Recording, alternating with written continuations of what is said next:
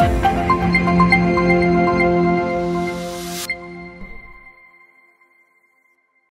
フフ。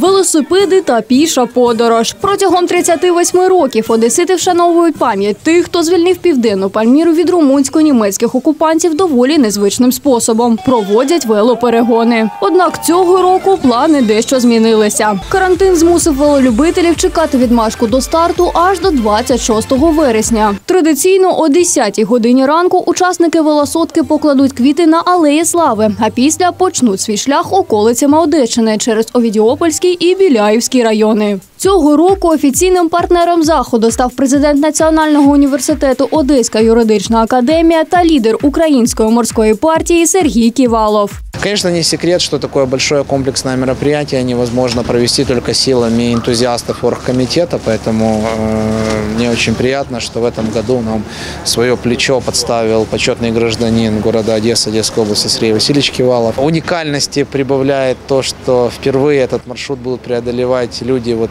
такой прекрасной осенней погодой. Сентябрь месяц выдался в Одессе удивительный. Я думаю, что кроме радушия жителей области, которые ежегодно ждут встречи с нашими участниками, э, все те, кто будут преодолевать пеший маршрут, либо на велосипеде, еще получат незабываемые эмоции от соприкосновения с удивительной одесской природой.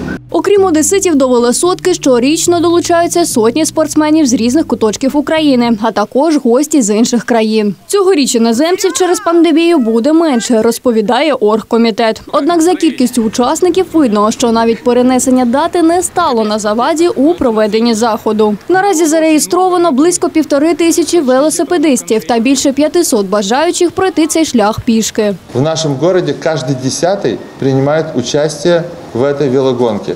И не только э, спортсмены, любители, э, аматоры э, нашего города, но и других городов нашей страны и ближайшего зарубежья. Почему я говорю ближайшего? Потому что в силу э, пандемии Особливістю спортивного фестивалю 2020 року стане введення нових категорій для учасників пішої сотки: любителі скандинавської ходьби та люди з вадами зору. Представники оргкомітету запевняють, зроблять усе, аби забезпечити максимальну безпеку для кожного учасника. Найшвидших на фініші будуть зустрічати біля меморіалу на 411-й батареї.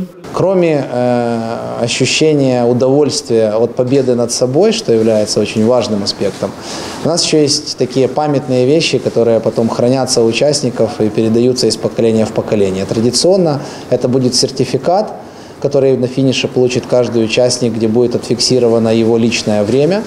И, конечно, традиционно это медаль. Мы в этом году для нашего мероприятия изготовили вот такую медаль, которая напоминает велосипедную шестеренку. Я думаю, что она станет хорошим памятным таким такой меморабилией для, и пополнит коллекцию наших постоянных участников и тех, кто выходит на мероприятие первый раз. Ще одним нововведенням стане підключення чипів до смартфонів учасників перегонів. Звісно, не без згоди особи. Тепер за місцем знаходження спортсменів слідкувати буде простіше. Аби приєднатися до велосотки чи спробувати свою витривалість на маршруті пішки, необхідно подати заявку до участі. Всю необхідну інформацію про реєстрацію маршрут та зупинки можна знайти на офіційному сайті та соціальних мережах велораллі.